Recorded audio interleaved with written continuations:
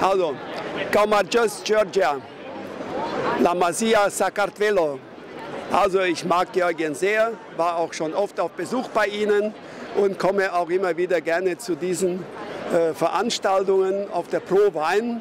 Also Georgien hat sich sehr modernisiert, hat einen sehr schönen Stand und bringt auch von den Weinen her viel Neuigkeiten, die eben, wie man hier auf dem Markt sieht, sehr gut ankommen.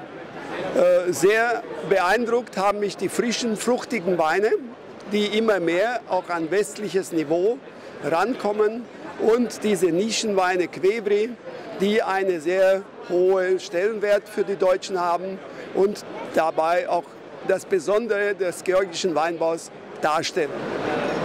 Von dem, was ich bisher probiert habe, habe ich keine ausgesprochenen Schwächen festgestellt, wie das in den letzten Jahren ja noch der Fall war. Da kann man eindeutig wieder feststellen, dass das eine enorme Verbesserung dieser äh, Ausstellung geworden ist und die Georgier sich damit enorm gut darstellen.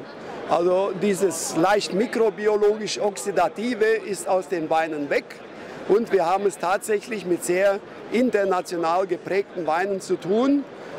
Und das spezifische Georgische ist in den Quevri-Weinen immer noch sehr gut vertreten.